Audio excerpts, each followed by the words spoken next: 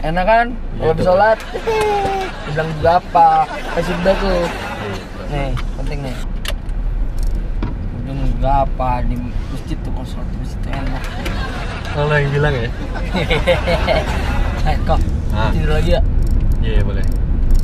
Hei, itu kalau mau emang kenapa kan refleks gitu tahu nih Ki, ya. Kalau kita nguap terus kita nggak tutup mulut, itu ntar setannya masuk tuh Ki. Ya biarin aja kesurupan beneran. Eh, jangan lah. Tidur lagi. Ntar pas tidur serupan lagi gua. Ya dah, gua tidur dah. Iya.